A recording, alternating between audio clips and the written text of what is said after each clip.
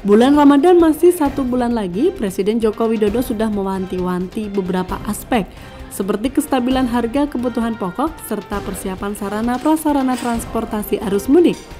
Presiden meminta harga sembako seperti beras dan daging diturunkan mulai sekarang.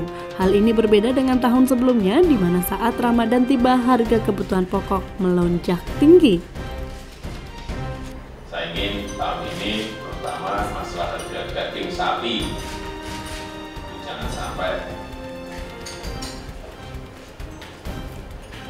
Di tahun lalu atau seperti harga pada saat ini saya ingin agar harga itu betul-betul paling tidak kurang dan lebih di angka 80 ribu. Beras juga karena ini pas panen raya mestinya juga sama. Harganya juga bisa diturunkan. Jadi hal yang sudah menjadi rutinitas kita dari tahun ke tahun setiap akan lebaran naik tahun ini coba kita jungkir balikan menjadi harganya turun Tak hanya itu, ketersediaan bahan bakar minyak, sistem keselamatan transportasi, hingga kemacetan juga tak luput dari pembahasan rapat yang berlangsung di Istana Negara selasa siang. Dari Jakarta, Azizul Hakim melaporkan.